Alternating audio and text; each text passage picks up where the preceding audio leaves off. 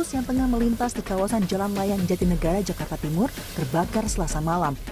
Kejadian bermula saat mobil hendak menyalip sebuah truk tangki.